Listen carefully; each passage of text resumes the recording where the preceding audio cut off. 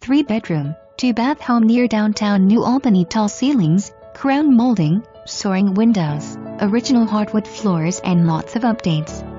The living room has built-in bookcases for either storage or decorative purposes. The kitchen has a cozy, well-lit breakfast nook. The large bonus room addition has many possibilities. This home is ready for a new family. Call for an appointment. Seller will pay up to $2,500 in buyer closing costs for offer accepted by October 26, 2017.